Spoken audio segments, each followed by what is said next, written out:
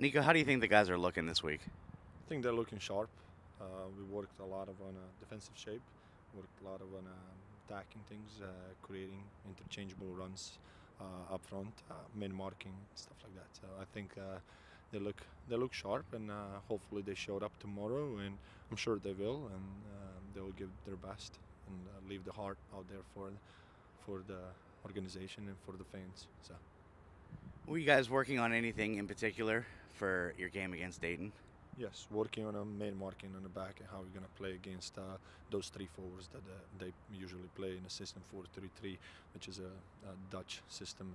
Everybody goes up and everybody comes back and, def- uh, and defend. So we have to make sure we stay uh, uh, focused, uh, especially in the back. And the closer we get to our goal, the you know main marking comes comes in place. So thanks, Niko. Thank you.